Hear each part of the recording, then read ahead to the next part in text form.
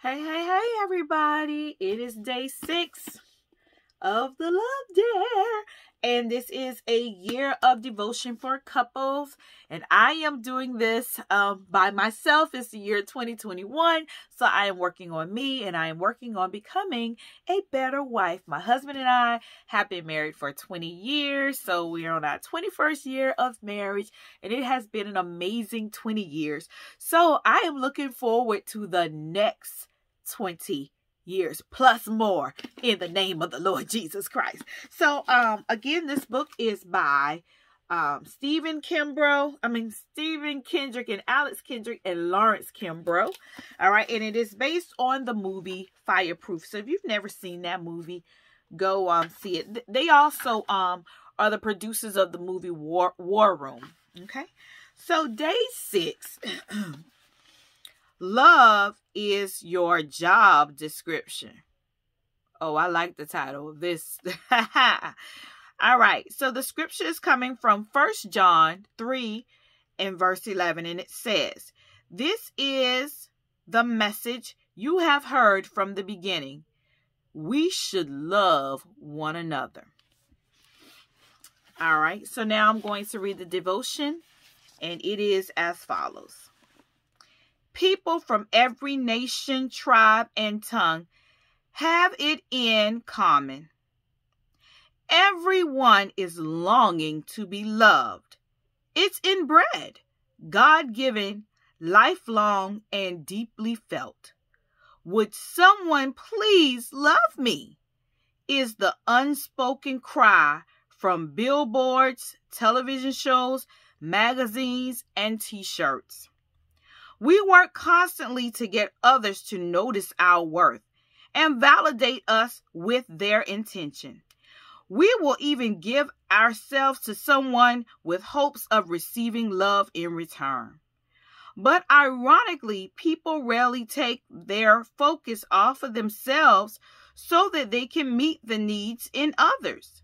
Selfishly, we may even overlook our own spouse but he or she needs but he or she needs is just the same.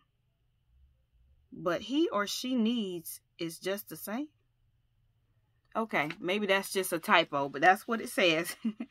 I guess but um he or she needs oh so maybe it's saying male needs and female needs are just the same. I'm not sure what that part means. I'm i'm not sure if that's a typo but anyway Love, however, is your primary responsibility in marriage.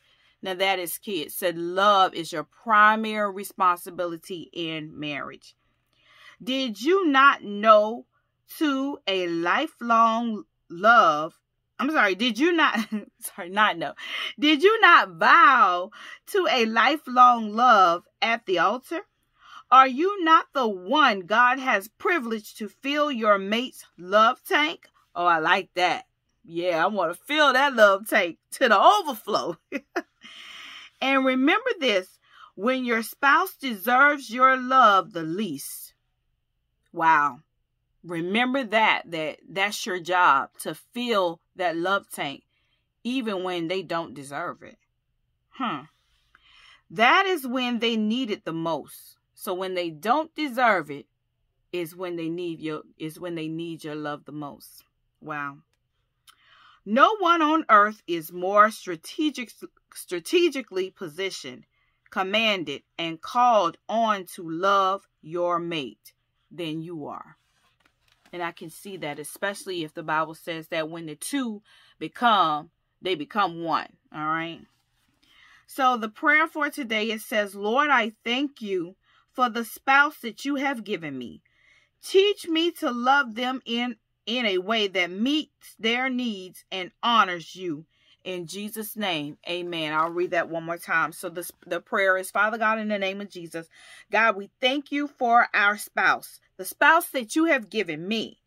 Teach me how to love them in a way that meets their needs and honors you.